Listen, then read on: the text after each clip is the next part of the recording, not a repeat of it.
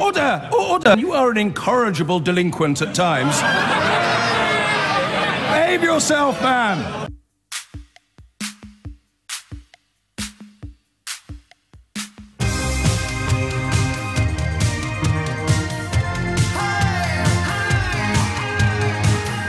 And you are listening to James O'Brien on LBC. Um, I want to return to that story about policemen with tattoos later in the programme. There's also some fascinating research about slaughterhouses. I don't know how any of us can ever eat meat again after reading about this sort of stuff. I met an eight year old vegetarian at the weekend, and for the first time in a long time, it really made me wonder why it is I'm regularly to be found tucking in to a cadaver. Uh, and the badger cull is back, which may well prove to lead us into similar territory. But I want to begin with this story about the French proposal to end UK border checks in Calais. And, and I really want you to help me understand it a little bit better because from where I'm sitting, I don't understand why the French signed it. and, and I don't really got a great deal of uh, power or ability to prevent them from shaking things up a bit. Uh, just to sort of clarify where I am this morning, I, am just imagining if the boot was on the other foot. It's always very helpful to do that if you're trying to get a, uh, well, I find anyway, if you're trying to get a grasp on um, issues that you're not directly involved in. Uh, imagine what it would be like if you did. And then when it comes to politics, if you're trying to get a grasp on international relations, imagine if the problem that another country is trying to solve was a problem that you had we had at Dover or Folkestone or wherever it would prove to be a, a camp akin to the so-called jungle in Calais, any politician who came up with the idea of shifting the problem to the other side of the channel would be cheered to the rafters, right? Uh, that's the starting point. I don't know whether you're going to contradict that. I, am going to try and tell you what I understand this story to be about and where my confusion lies. And then between us by 11 o'clock, hopefully, we'll have a slightly better understanding of it because well, at first glance, I, I got to tell you that the French seem mad to have agreed to what they've agreed to, and madder still not to do everything they can in their own interest, not our interests, everything they can in order to dismantle it. David Cameron, in the run up to the referendum vote, did warn that this might happen, but frankly, given that the treaty signed um, Le Touquet, the Treaty of Le Touquet, was a bilateral treaty signed between France and Britain, it doesn't necessarily follow, does it, that the decision to leave the European Union would lead the French to reconsider a bilateral treaty that was signed independently of any other European Union issues. Anyway, that's my first area of confusion. So look, look, to begin at the beginning. Phone lines are open, by the way. If I've already dropped a clanger, you're welcome to point it out on 0345 6060973. You get, you get to the border at Calais, and usually with, with a British passport, you get waved through, right, by the French customs guards. Is this right? It's a while since I came back from France by road, so you're going to have to correct me if I'm wrong. You get waved through the first sort of checkpoint, which is manned by French customs officers, because you, they're not that worried about people trying to leave the country, as it were. Then you come to the second platform, as it were, the second stage, and that is manned by British customs officers who are obviously a lot more interested in scrutinising your right to come into Britain.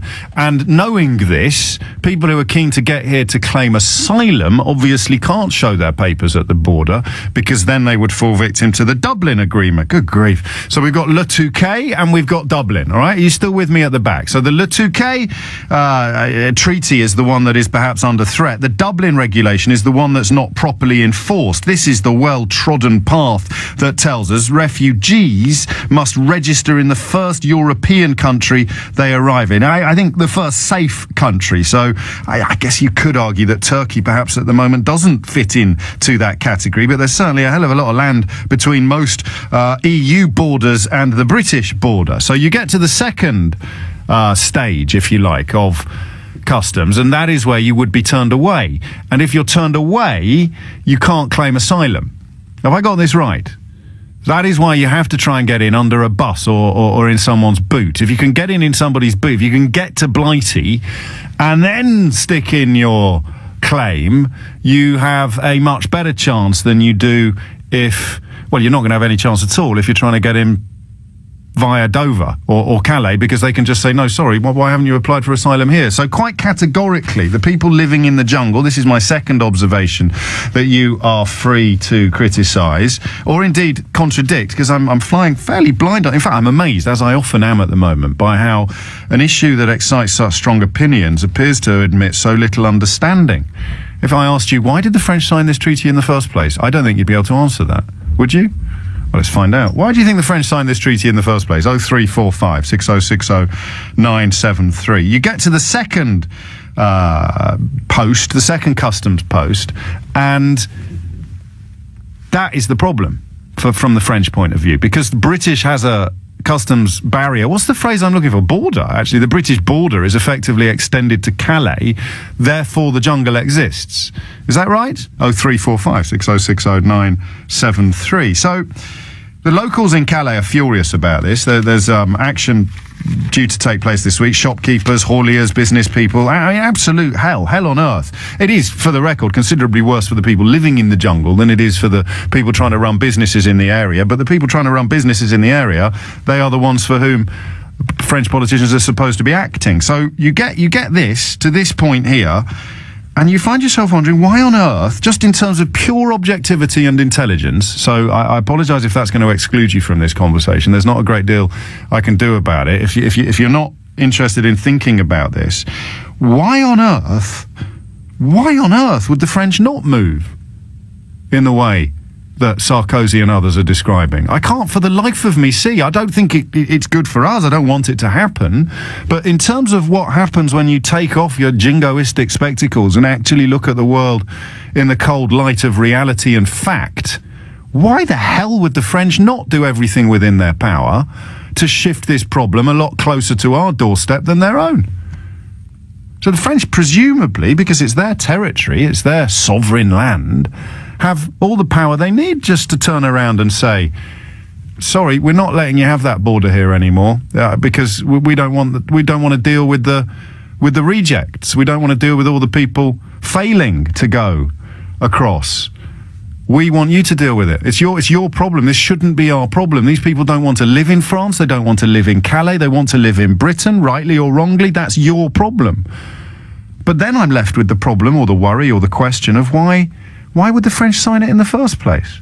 0345 6060 973. Hit the numbers now, you will get through. Look, I, I can't suggest to you that this is going to be an uncontroversial conversation, but I do want to stress to you that it is not a a binary one. This is not a sort of uh, a, a question of, oh, we need to control our border. I mean, that debate is over. The vote, the, the referendum vote has taken place. So, regardless of the fact that all those people who voted to punch themselves in the face are now trying to blame it on everybody else, this is a conversation about today, about modern politics. Can you explain to me and everybody else why the French signed this treaty in the first place? It seems so. Did they not realise what would happen? And why would Brexit change the landscape in any way? In order to because it's a bilateral treaty. So has it just sort of become the case that the French, when we were members of the European Union and poised to remain members, thought, well, look, it's a bit of a bummer for us, but hey, we're all on the same team. We'll take we'll take one for the team. And now that we've elected to leave the team, the French are saying, why should we take one for the team anymore? These are pure speculations from me, but they seem to be quite important ones. Here are the numbers now. You will get through. 0345 6060 973 if it was in Britain and British politicians could do anything at all to move it, to dilute it, to reduce it, we'd be screaming at them to do so. If it's in France, how can we possibly query or quibble with French politicians suggesting that this problem is no longer theirs? They seek to wash their hands of it. No?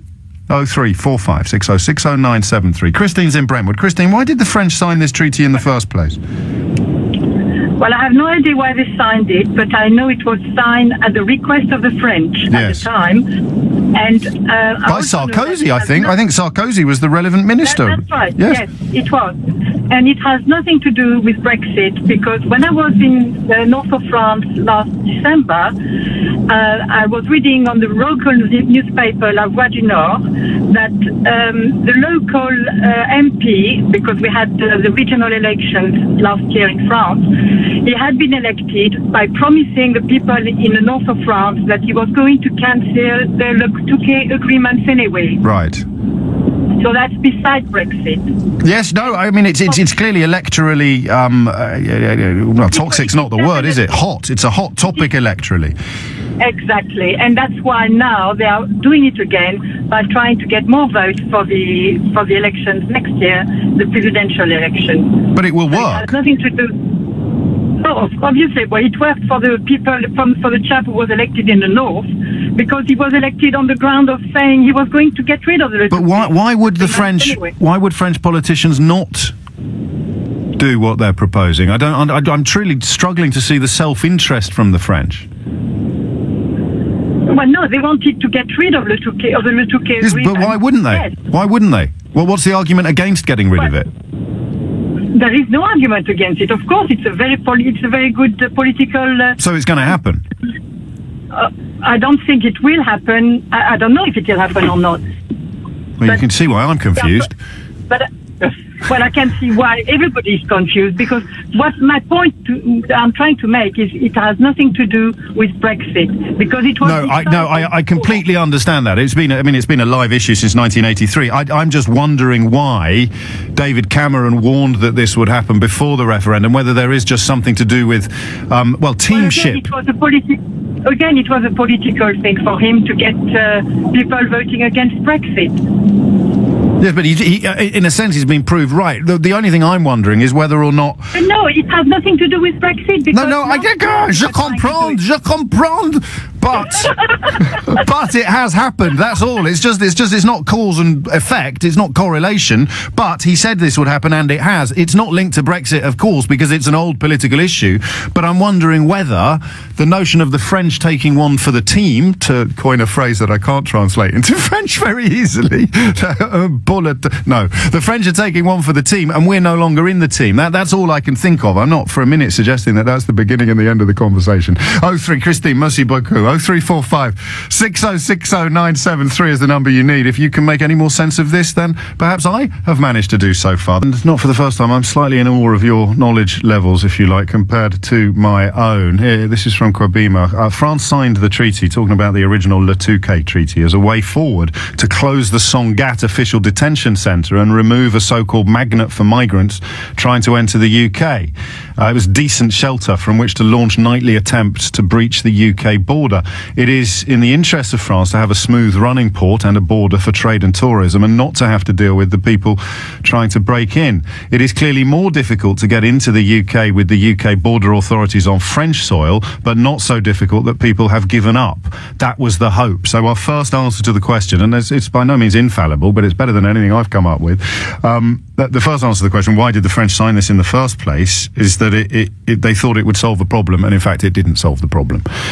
You remember Sangatte, of course, um, and and the conclusion is the problem is there's no better solution for either France or the UK. so that's the mystery here. The French government have repeatedly made it clear that, that removing the juxtaposed controls would not be in the interests of France. But we're living in an era, of course, where factual analysis doesn't work in the face, particularly when linked to immigration and refugee related issues. Factual analysis gets thrown out the window at the first opportunity. So the politician who stands up and says, yeah, we're going to stick it to the Brits by doing X, Y, and Z is going to get cheered to the rafters. And Sarkozy, who signed the Le Touquet Treaty himself, I think, is now leading the sort of right wing political call for it to be, if not torn up, then radically revised. So I know this is a bit turgid, but it's fascinating, isn't it, that we know so little about it, despite the fact that it's on our front pages almost daily. 0345 6060973. Why did the French sign it in the first place? And just, just if you can, turn your telescope around and look at it through the other end. If it was British, territory, British land that had been turned into the so called jungle, and a politician stood up and said, Well, we're going to sort of turn it into more of a French problem, we would, as a nation, be cheering that politician to the rafters, wouldn't we? Wouldn't we? Got two phone lines free. If you want to grab one, be quick. Stephen's in Cardiff. Stephen, what would you like to say?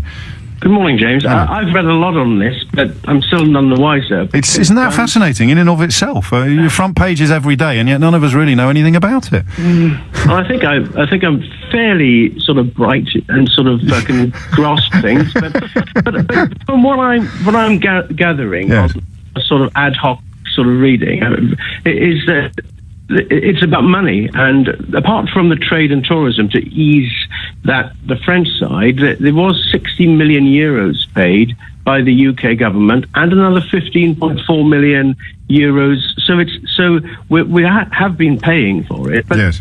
but it is. You know, whichever way you look at it, and regardless of whether they're refugees or legal or illegal, it is a French problem because they are, whether we like it or not, In France. They are in France. But but And but you know- but but it's the French decision to keep them there. Well, no, it's not, um, James, in my view, because the people, the people that are there, Sangatte or any of the and Calais, they're not. Everybody's free to go in or leave. They don't have to stay there. Precisely, and the only reason they don't leave to come to Britain is because we've got border guards in France. Exactly. So, So if, if France say you're not welcome here anymore, they're all they're all in Dover by tea time. well, how do you, how do they get to Dover? Because the French customs are not that interested in who's leaving the country. Security issues, immigration issues are determined by who's coming in. Have you ever tried to get on a uh, on a on, on a Eurostar, James? I I have, to show your yes. Passport. I have tried to get on a Eurostar, but but the, the, the you do have to show your passport. Of course you do. But if you're coming back on a ferry, you generally get waved through by the French. It may well be that they're only waving you You through can't- because they you- know that the James, British. You can't get on a ferry without showing a passport. Yes, to, to the You British border guards. Absolutely. To the, James, when you go to an airline, when you go into when you go into uh, Charles de Gaulle to get on a plane, the first uh, passport you give to is the airline. Yes, to uh, the, to, this is the you point, in. though, isn't it? So the British border guards, if they weren't allowed to operate in France, you would. The, the proposal is that you'd have a, a, a hot spot there where everyone can apply for asylum in Britain in France. They can't do that at the moment. So you can't get on a Eurostar, James. You, you just can't um, with with without showing a passport. No, no, I know, I know you can't. This is, I think, we're adding to the confusion. Let's try and bring a bit of clarity to it. The proposal is not that um, everybody would suddenly pile into Britain, but those hoping to claim asylum in the UK would be able to do so in France. If they failed, then they could be deported directly to their country of origin. But the problem uh, would become more of a British one than a French one. That's the proposal. I don't see how it becomes a British problem, though, James. But I, I just can't see it because, you know, if if, if, if I'm travelling to the to Britain from from Spain or, or from Italy or from, I have to show my passport uh, to to get on the mode of transport. And if you're coming to the UK, whether you're coming, No, I, I, I think I can help. I think I get it now. I, I do, because You- you know these people can't show their passports anywhere because they want to claim they want to claim asylum in Britain, which is which is why the jungle exists. The French are looking to get rid of the jungle, so they're saying, okay, then rather than us having to have this terrible logjam, if you will, of humanity at, at our border of people trying to get in across your border. They have to apply for asylum here via the British. They can apply for asylum in Britain, in France. Yeah, but at the moment, James, we, we are paying for it. If we stop paying, they still have the problem. They, they can't move it. They and they and what they can't do is change international law to say that asylum has to be. So uh, you know, No, why can't they? Why, why can't why can't they actually that's, just? that's international. No, no. I, I, you mean the Dublin Agreement? I understand that, but that, that why can't they? And this is what I would do if I was the French person, if I was the French politician, I would literally say, "Well, off you go." Let them deal with you in Dover. That's how things used to be when we were young, Stephen. It's only a relative. Get, my point is, that, James, you won't get to Dover unless, unless, unless you swim the channel or hide in somebody's boot or try. But that's what that's what's happening at the moment. The French are seeking to the French are seeking to change that, and the way they plan to change it is by what introducing hotspots in France where you apply for asylum there. Um, why that is such a problem for Britain, I don't fully understand. And and of course you're right. At the moment, you can't hop across on the on the on the channel on the train. But I do think it's fair to say when you're coming by boat.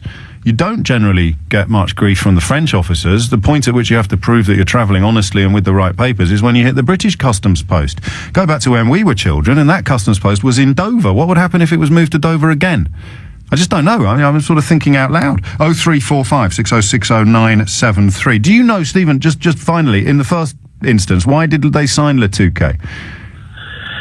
Um, I have no idea, but uh, but I think it, it, it, it was for trade and tourism because they were having a problem there, and they had some money offered and uh, a sort of. They couldn't do it on their own, so they accepted the money, and then it's turned into a problem. Yeah, that's not an answer at all, is it?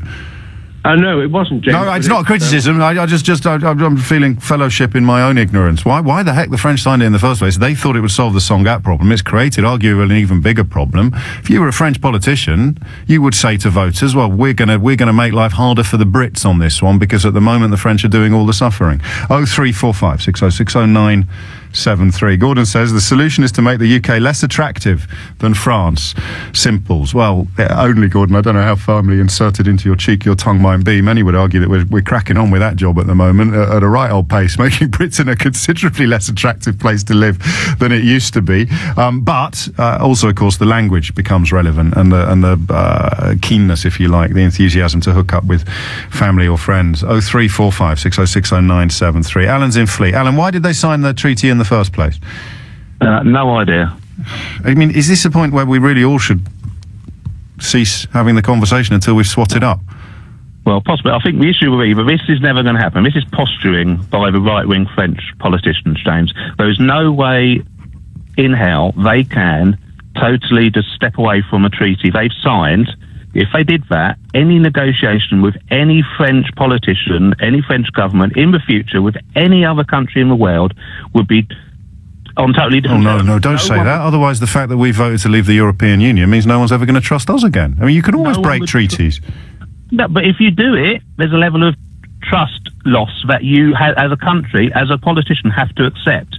Now, these French politicians are making out they're going to do this, do this, they're going to make France great again, they're doing it all for the French people. If they are then viewed on an international stage as untrustworthy, Doesn't matter though, because all their will- treaties are conducted under the European Union. It's a 500 million people trading bloc. The, the, the French one is a- individual bilateral treaties will never be involved in trade. It's illegal. But but the point is, if you have, if it sets a tone, it sets a view. If you are trading on, It's not a tone, mate. Li- Listen, France can do all the deals it wants with the rest of the world because it's a member of the European Union. Bilateral treaties about borders that would affect Britain and Belgium. Yes, but point is, it Well, stop saying but. I mean, you're just wrong. To the level of their trust. No, I don't, you- it doesn't matter about trust because all of their important financial treaties will be EU trade deals, not French trade deals. It's illegal for the French to conduct any. Do you know? I mean, what is it you don't understand about that? I just think French politicians would not want to be viewed as untrustworthy on a world stage. Yeah, okay. Well, then I'll just repeat to you again the trade deals that would be in any way affected by this lack of trust are conducted by the European Union, not the French. So uh, uh, make of that what you will, but the border, bilateral border treaties, it's not a question of trust, is it? The Brits want it, the French don't. I don't understand why the French signed it in the first place, nor do you, nor does anyone. apart from this notion that it would somehow solve a problem that, that it failed to solve. 0345 6060973 is the number you need. And, and with the greatest of respect to Alan, and indeed to, to, to other callers, and I suppose to me as well, it doesn't it say everything about where we are now as a nation? That we've all got really strong views about this and no one's got a flipping clue what the facts of the issue actually are. It's quite incredible. Trying to make some sense of one of the hottest political potatoes of our times a french proposal to end uk border checks in calais. Home secretary amber rudd has uh, passionately rejected the proposal but she doesn't really have the power to do so, I don't think. Um, and in terms of this Le Touquet treaty that Britain signed, I think we need to add the tunnel. It was when the tunnel was opened, wasn't it? Sangatte and the Channel Tunnel conspired to create circumstances in which the French thought that signing Le Touquet would be pretty. But like any treaty, there'll be a clause in it that says if either signatory changes their mind, they're welcome to withdraw. I apologise for chuckling, but apparently that's not obvious. Uh, 10.34 is the time. You will be aware by now, of course, of the passing of the American actor Gene Wilder. You may not be aware. Um, he's died at the age of 83. It was confirmed overnight. One of the funniest men ever to appear on Celluloid, the producers Blazing Saddles, Young Frankenstein, various other films as well, of course. You may not be aware that he, he, he cut his acting chops in this country. He attended the Bristol Old Vic Theatre School in, oh, off the top of my head, I presume the 1950s. Uh, I, I didn't know that. Um, Jenny Stephens presumably did. She's the artistic director at the Bristol Old Vic. Uh, uh, sort of, obviously, before your time, Jenny, unless you've got one of the longest shifts in the history of, of theatre. But Yeah, that- well, yeah, well, well before my time. He left here. He left in 1956, Right. um, having d- so so 60 years ago, isn't it? It is. Um, and the theatre school was actually only 10 years old at the time. Um, Um, we're about to have our 70th uh, birthday now, but uh, yeah, so he was one of the relatively early. Do we know how he ended up there? Do, do we know how he ended up there? He, he, he, he came over. It wasn't unusual to have a, a sprinkling of um, of students from from Canada, from America uh, at the school at the time. Um, and he'd, I think he'd been in Milwaukee. I think he'd been um, a student there and came to do a, a sort of post grad, if you like. Um, or, or I'm not quite sure how old he was. We, we could probably do the maths and work it out, couldn't we? Um, uh, so I'm not quite sure why he ended up here. Uh, and he, as I say, he did the one year course, but I don't think he even completed it. I Oh, think that, so he um, wasn't a model student then. Well, this I, There must be someone there, someone in the in the wings who, who remembers him. Well, I tell you what, there is. There isn't anybody actually in the wings, but there's our old head of acting courses was a guy called John Hartoch, and he was taught by a man called Rudi Shelley, who was a you know a great doyen of, of drama training Wow. back in the day. And he, so John knows about Gene through Rudi. Um, uh, and what what he said apparently what Rudi said about about Gene was that he always had ants in his pants. Um, he was constantly animated. He, he, he did say it was fairly impossible to teach because Rudi, I think, was quite systematic, quite precise about things. But there was something um, m- much more animated, really, about Gene Wilder. Um, Yes. although at, at, at the time he was called Jerry Silberman Oh, when he when he was here. Yeah, yeah. Um, and he but he always had a real twinkle, and he took to the he really took to the physical side of the course. He loved the physicality, and you can see that uh, through in his performances. And he particularly embraced the sort of stage combat. And apparently, when we went back to the states, he was he was quite big at all of, of that. The fencing. Um, I, I, I, this, yeah. I learned this. Uh, it's amazing what you learn about people when they die, isn't it? Sometimes he was he, he was at Bristol that he sort of became a fencing enthusiast. He did, he did, and it was all the, the, the, the physical side, the combat side. We're still quite big on our combat actually, but um, but we, we he le- apparently um, he, he felt he wasn't getting enough sort of Stanislavskian um, tradition, which is a very deep naturalism. But actually, you know, we do we do stand the man now. I've got to say. Um, uh, Where does he stand with? he with did, did you give us a quick heads up on some of your other alumni? Because I mean, he, he's Hollywood royalty here, but I know Bristol is one of the most prestigious schools in the in the world, actually, not just the country. Oh yeah, yeah. No, well, we're we're right proud of um, the Stephanie Cole. Stephanie Cole, you know, uh, uh, Daniel Day Lewis is probably one of the one of our biggest alumni. Uh, Brian Blessed, Pete Postlethwaite, Ian Lavender, Olivia Colman, um, and if you want to go more recently, who sort of like more my time really, Faye Marsay left here, who is the lead in Love Nina uh, and has been in Fresh Meat and all the rest of it. Laura Carmichael, who's Lady Edith in Downton Abbey. Um, A very, very good school. I tell you what, you must have got your Stanislavski sorted by the time Daniel Day Lewis got there. It's hard to yeah, think of an actor you know more, what? more, more method than him, isn't it? That's that's it. That's it. No, Daniel Day Lewis is uh, is, is is well method, isn't he? Yeah. yeah. I love talking to you, Jenny. We'll do it again. Hopefully not when one of your alumnus has passed. We'll find a slightly more upbeat reason to do so. That marking the uh, death on Sunday in Stamford, Connecticut, due to complications with his out with Alzheimer's disease of the U.S. actor Gene Wilder. I didn't know that. My apologies. Previously, of course, known as Jerry Silverman, from from an era when I guess trying to camouflage or disguise a Jewish surname might have been professionally advantageous. I don't know. 1039 is the time. 03456060973 is the number that you need. Um, my favourite texter today is uh, Brian in Rotherham, who unintentionally proves quite a lot of the points I'm trying to make politely, but uh, you- politeness wears pretty thin, mate, doesn't it, when you come up against this, Bry? Couldn't give a toss about facts and figures, pal. We don't want that bunch criminal jihadi terrorist on our shores. Simple as, what bit of my text don't you understand? Well, I'll answer your question, Brian. The bit I don't understand is is how you think that the French proposal could be resisted by the Brits. I mean, you're probably entitled not to want these people on our shores, but the French are putting forward a proposal that makes it more likely to happen. That's unfortunately what happens when you look at facts and figures. Nicholas is in Norfolk. Well, that's a bit broad. Whereabouts in Norfolk? in Wyndham. Wyndham, spelled Wymondham. Yeah, yeah. Carry on, Nicholas. What would you like to say? Can we can, can we can we hang on? Can we adjust our records? I, I, I want Norfolk to be properly recognised. It's a great big landmass. I want Wyndham, W Y M O N D H A M. Thank you very much. Carry on, Nicholas. Gene Wilder, Gene, Gene Wilder, fantastic. It's very sad. Absolutely. Yeah. Um, I think you're right about the French um, have the right to send the, the asylum seekers into England, but they have a problem which is much more political than even that. At the moment, I was in Provence a couple of weeks ago. They are shutting their borders at a place called Ventimiglia, which you probably know quite well. And they No, are. I don't at all. Why, why do you say it like that? Why, why would I know it? I don't know, quite that's the border. I don't know, you've probably driven through there, haven't you? From the, the Riviera. I never, I never really get. I don't, get any further than Burnham Market. I was in, I was in, I was in Wells next to the sea yesterday, mate, just up the road from Nice you. I'm not going to Provence. Lovely, Too lovely, rich for my blood.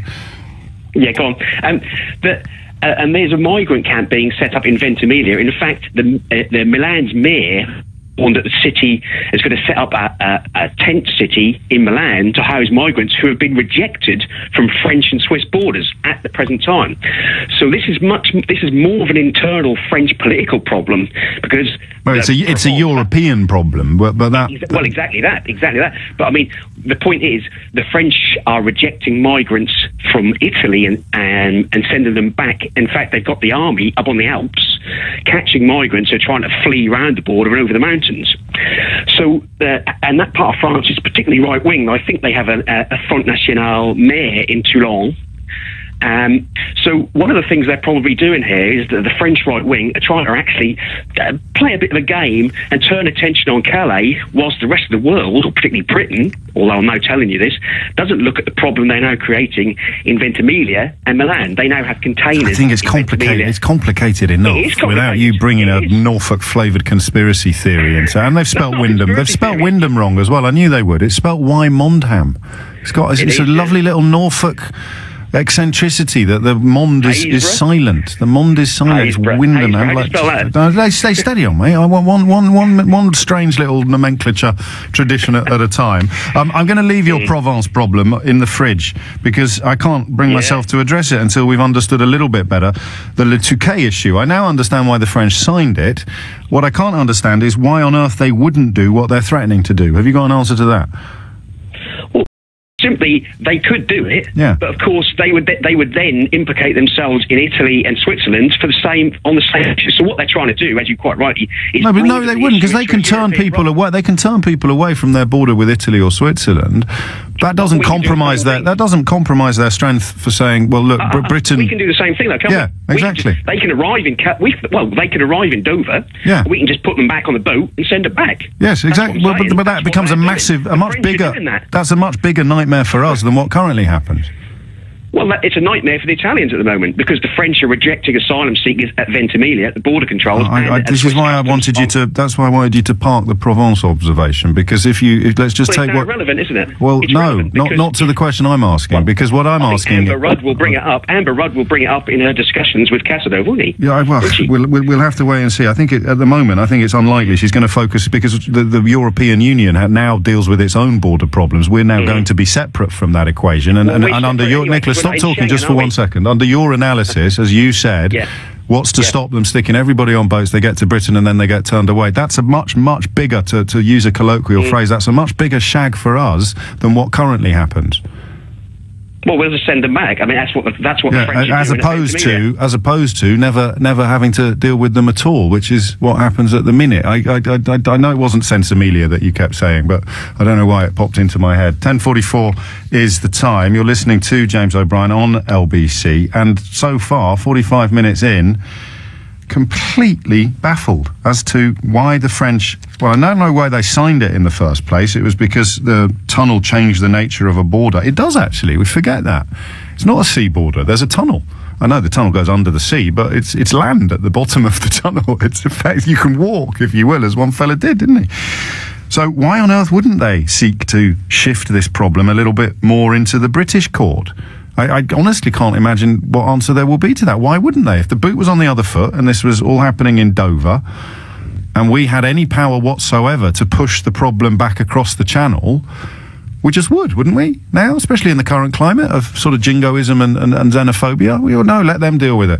We're going to be fine all on our own. And I'm not sure we've solved any problems, but how pleasant it is to have a conversation about European borders, migrant crises, and indeed the so-called jungle in Calais that is uh, pursuing truth rather than just yet more reasons to be hateful and hate filled. 0345 6060973 is the number you need. Question's pretty straightforward, actually. Why on earth wouldn't the French do what they're threatening to do? What, what, what possible interest, French interest, is served by keeping the so called Calais jungle in place? Um, and it would be a disaster, even if we did find ourselves in the position of having to turn thousands of people straight back as soon as they got to Dover. Who would pay for that? And not only who would pay for the processes of scrutinising or, or the, the relevant papers, an asylum application is received, you can possibly argue that it, it should be ignored or they should be sent straight back. It'd be legally quite difficult, but who's going to pay for it? Why a friend? Why, why would France not do what they're threatening to do? Is the thing that's got me puzzled. Oh three four five six zero six zero nine seven three. Tony's in Poplar. Tony, what's going on? I see somebody's told you that um, this problem started a long time before the last couple of years when Angela Merkel threw the borders open to anybody that wants It started. The Le Treaty was signed. Well, when the Channel Tunnel was opened. Well, no, it wasn't. It was signed after that. Originally in 1991, you had the Sangatte Treaty, which set up the uh, agreement for uh, juxtaposed border controls. Yes, that's the phrase. Then it followed into Touquet, which was still talking about the Channel Tunnel. So, so it evolved. Sorry, sorry, sorry, sorry, sorry. In 2003, there was a further agreement which put border controls on Channel Tunnel, Channel Tunnel stations. Then the Touquet thing applied it to cross-channel ferries. Right. Ah, got you. So yes, yes, yes, yes. So the the Le French Touquet are expanded okay? from, from from the channel to the ferry. You're quite right.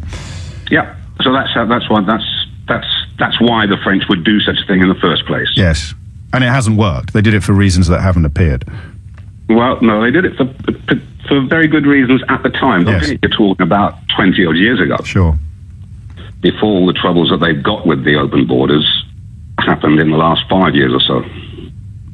Oh, Uh, but Sangatte and and the jungle were in existence years and years ago.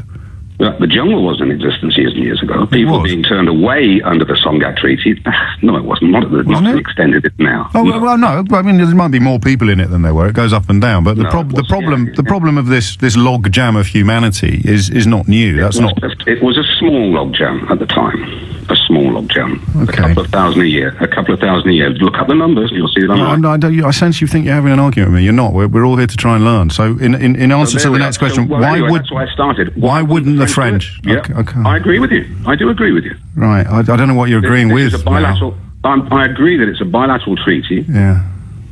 That the French have the ability to walk away from the treaty if they want to. Yes. Why wouldn't they? Because if they walk away from it, then they walk away from all of it. It's the same reason that we don't just walk away from the blasted EU. Right. Okay? No, They walk away no. from all of it. That I shuts don't, down. T- t- Tony. I, I, it's, I'm sure it's my fault. I, I, I really am. But, but there's. is your fault. Yeah, yeah They well, walk th- away- There we, Tony, mate. I, th- I think you need to have another cup of tea, mate. Benoit, a French name, I presume, is in Hackney Wick. And speaking of French names, I should just clarify a point made by a previous caller. The mayor of Le Touquet is not Front National. There are plenty of Front National mayors in place, but someone did ask me to point that out. Benoit, what would you like to say? Uh, hello, yeah, no, the mayor from Lille is not definitely not from uh, national. From No. she's Republican, though. Sure. Yeah, um, the problem is not a French problem, and I think the reason why the government, the French government, doesn't want to push that, it's because the French government is not saying that that's what they want to do. Hollande has explicitly said that they were not going to do anything to that treaty. It Yes. comes from the Republican head of the region, the North region, who he's pushing this. Xavier Bertrand. Because Xavier Bertrand, who, Yes. if you remember last year, was elected against Marine Le Pen. She was running for that region seat as well. So that region is administrated by only right wing and extreme right wing in the region. So that is the kind of um, Context. elector Yes. context. And this context follows as well 16, 17 years of um, uh, not jungle because Sangatte wasn't called a jungle. The jungle is really a sort of a key word that has erupted for the last few years. But in 1991, I think when Sangatte started until 2002, when it was closed, under pressure from the British government, I believe, and the Red Cross as well. Yes. Then the treaty, the Touquet Treaty, has came into place as a consolidation of the agreement between the UK and France. And I think both parts were quite happy to have uh, access to border control on each territories because they have some trade interest and perhaps as well they were already starting to believe that they needed to be working hand in hand uh, against threats or terrorism, etc., etc. So that is a context, I think, and closing um, the jungles or revoking the Treaty of Touquet, which clearly is impossible, uh, is definitely not in the interest of France because it's not a French problem. It's a European problem, I think. So this uh, is this is oddly we're looking at it through the lens of sort of fact-free British rhetoric. It's actually fact-free French rhetoric that we're talking about here. It's a right-wing mayor trying to tack ever so slightly to the left of, or not to the left of Marine Le Pen, but trying to trying to win electoral battles with Marine Le Pen by making the noises that the electorate want to hear. Why, why is it unworkable? Why is why is it from a French perspective? Why is it unworkable? I'm glad you were here today, Benoit. I was beginning to despair. What, what, why why is it unworkable from a French perspective? To to revoke this treaty. Yes. Because um, if you think about it, there's about six, seven thousand uh, asylum seekers waiting at the border, being controlled regularly on everyday basis, trying to cross illegally the border. Um, if you revoke this treaty, then perhaps Dover or Folkestone is going to become as well a new center for to welcome those asylum seekers. Yes. Right now, those asylum seekers, not every one of them are going to go through the net of UK custom. We're okay with that. I think sure. some of them will be sent back. The one deemed undesirable, right? The one that are not fit to go through the UK border system. So where are they going to go? They're going to come back to Canada and they're going to try again. So if you re-legislate and create a new sort of treaty, then the people who can't come through anyway, who haven't been able to come through for the last 20 years, are they going to stop? Are they going to go away? No, they're going to stay here. And I think the jungle will stay in France and will start erupting in England as well.